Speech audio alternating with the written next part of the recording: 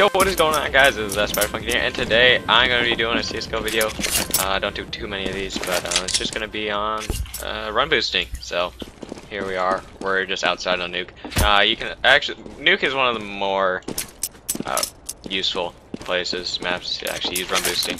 Uh, just because you can get on to Silo or even inside here, which is a pretty good spot. Oh, let's see if I get here. Oh, nope here, right here, just peeking, um, what's it called, ramp area. But we're gonna go outside long, and we're gonna demonstrate it. And um, it, run boosting is actually extremely easy to do. You just have to have a lot of coordination, and um, here we are, good friend. And um, you know, you just need to, coordination is really key. So um, how will we do it?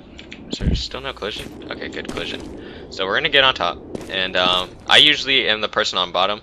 Uh, from the bottom position, you want to make sure you're in the middle and uh, just stay crouched. And what you want to do from here is you're just going to have your friend jump, and once he lands on you, you're going to start running. And uh, go ahead and jump, and then start running. Easy like that. That's uh, just the easiest way to run boost. That's uh, that's a bottom person's sort of perspective. We're going to do top.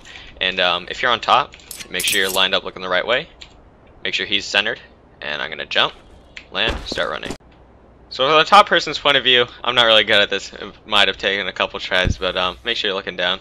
Uh, jump, and then once you land, run forward, jump, yeah, easy like that. Uh, that's pretty much run boosting. Um, easiest job, I mean, practice is really key. It only takes like a couple tries to actually get it down. Um, but don't try switching positions. Uh, yeah, don't try.